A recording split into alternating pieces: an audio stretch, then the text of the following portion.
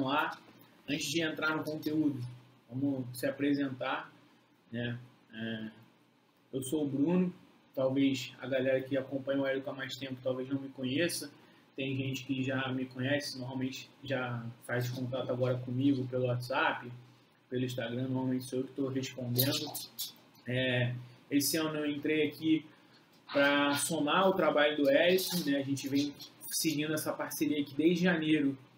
Tem mudado bastante o nosso canil, eu aprendendo muito sobre cachorro, uma coisa que em outra oportunidade eu vou contar para vocês, mas aprendendo muito. E então é isso. Né? Aí se apresenta aí, Érico, também. Boa noite, galera. Meu nome é Érico. É... Muita galera do meio assim me conhece como Turco. Muita gente me chama de Turcão, de Turco. No meio do, do American Bully sou bem conhecido assim. É... Tenho 40 anos. Estou envolvido na criação tem bastante tempo. É, tive cachorro a minha vida inteira, desde que eu me entendo por gente, desde criança sempre tive cachorro, é uma paixão, é um envolvimento muito grande. Eu sempre tive envolvido com os animais, e não só de ter, mas sempre tive um envolvimento muito grande em criar. É, a paixão que eu tenho não só pelos animais, mas sim na criação, entendeu? É uma coisa que que me move muito é essa questão de criar.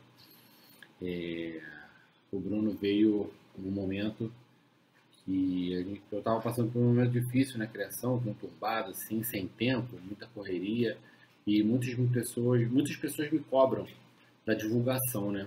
Pô, Érico, tu tem que aumentar essa divulgação, tu divulga pouco, muitos cachorros seus estão aí e, você, e ninguém te conhece, ninguém conhece a tua criação, poucas pessoas conhecem o seu trabalho conhece seus cachorros, mas não conhece o seu trabalho, né?